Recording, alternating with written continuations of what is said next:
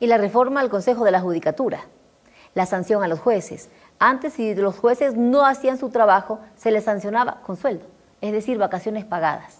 También se cambió ese... Sí, pero ¿cuánto tergiversaron eso? Muchos han regresado, jueces evidentemente corruptos, pero para hacer quedar mal a Correa, que dominaba la justicia, querer hacer, hacer quedar mal a, Gustavo Yal, presidente histórico del Consejo de Judicatura un tipo recontra especializado, PhD en Derecho Internacional a Sorbona, y mire quiénes lo sucedieron en el cargo. Causan vergüenza ajena realmente. En conclusión, yo diría, presidente, el país requiere en este momento de la historia el trabajo en conjunto, todas las funciones del Estado en una misma mesa, con una sola visión y orientación. La delincuencia, la inseguridad, no sabe de banderas políticas, entiende de que le solucionen su problema. Y eso es lo que vamos a hacer. En un llamado público nos sentaremos todas las funciones del Estado a dar solución al problema de la delincuencia, que como ya dije, no solamente pasa por el sistema de justicia o el presupuesto o armar, sino atacar a las causas generadoras de la violencia de la delincuencia, el hambre, la pobreza, la falta de empleo, la falta de medicina en los hospitales, la falta de presupuesto para educación y que nuestros jóvenes vuelvan a las aulas de clase. Estamos en el peor de los mundos. Nuestros jóvenes no tienen acceso a las universidades, pero tampoco tienen acceso al empleo y son fácil presa de la delincuencia. ¿Qué ven en su casa? Pobreza, probablemente violencia, desempleo, hambre. Qué fácil es que venga un grupo delictivo y le diga, ven acá. De allí tenemos que rescatar a nuestros hijos, a nuestros jóvenes. ¿Qué pasa en el sistema de salud? El peor de los mundos igual. Hasta el año 2021 habían despedido 6.000 personas del sistema de salud, médicos, técnicos, enfermeras. Y del otro lado, ¿qué tienes? Tienes a la ciudadanía sin médicos. Vas con un dolor, llevas tu hijo con fiebre. Te dicen, dele un paracetamol y llévelo y tú como madre sientes el dolor de ver a tu hijo llorando, que no, le causa, no, le, no se calma, no le baja la fiebre, y el sistema de salud te lo rechaza, te mandan a morir por pobre. Y así con todos los casos. Nos, ¿Por qué? Porque nos faltan medicinas, porque nos faltan los médicos que están en el desempleo, las enfermeras que están en el desempleo. Vamos a devolver esos puestos de trabajo para garantizar la atención digna a nuestros ciudadanos. El presidente de la República debe ser un líder, Luisa. Y para sacar adelante un país se necesita liderazgo. Pero la mediocridad sataniza el liderazgo.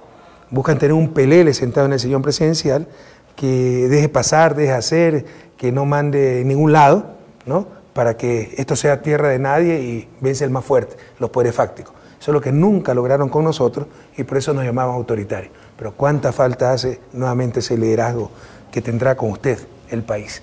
Bueno, eso con respecto a seguridad. Usted ha dicho, se necesita reactivación económica para combatir sobre todo la delincuencia común. Usted tiene una maestría en economía del desarrollo, ¿verdad? Del desarrollo. Y bueno, y muy interesante, porque somos un país en vías de desarrollo. ¿Qué piensa hacer para esa reactivación económica? Recuperar la economía, porque además son indignantes las contradicciones. La migración ha comenzado nuevamente, es el mejor termómetro del éxito de un gobierno, la migración. Nadie busca salir de su propia patria voluntariamente si le va bien en su, en su país, ¿no? Y ese es uno de nuestros mayores éxitos y sanas satisfacciones, que con nosotros en la década ganada se revirtió el flujo migratorio, la gente empezó a regresar, dejó de salir. Hoy vuelven a salir y es una tragedia nacional. Mientras tanto, los bancos rompen récord en utilidades. O sea, yo no sé, yo no sé cómo la gente aguanta. realmente sí, gracias a Dios tengo una posición cómoda, no me ha faltado empleo, pero si yo no tuviera que darle mis hijos de comer, no tuviera empleo.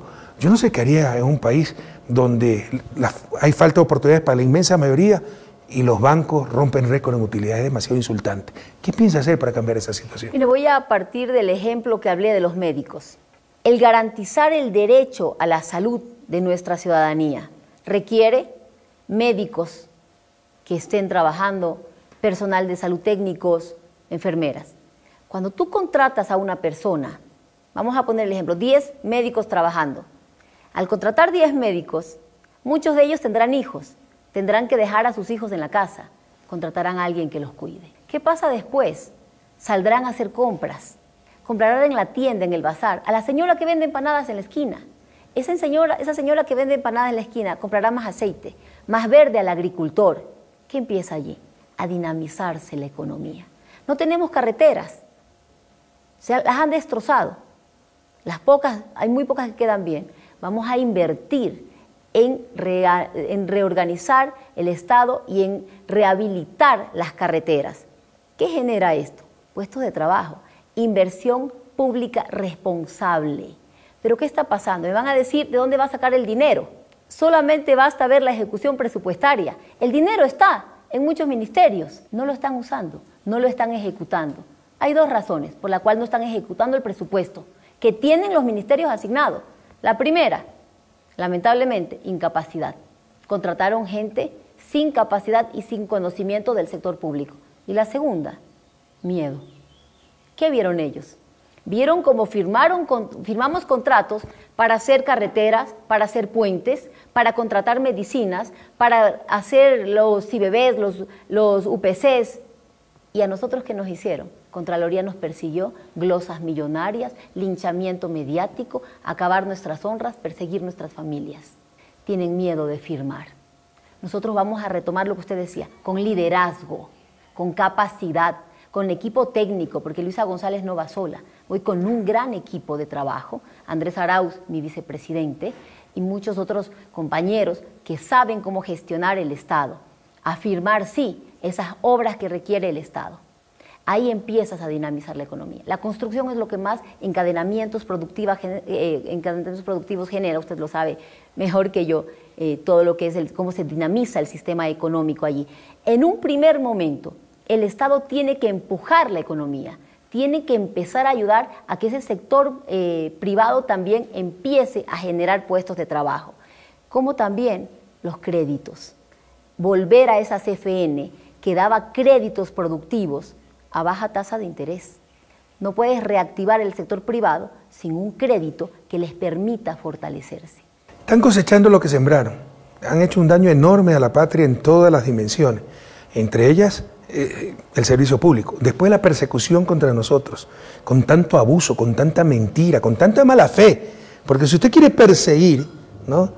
es facilito, es tan entreverado, tan complicado el sector público, normativas algunas veces mutuamente excluyentes, contradictorias, que si quiere perseguir va a encontrar la coma que faltó y va a ser una narrativa de peculada.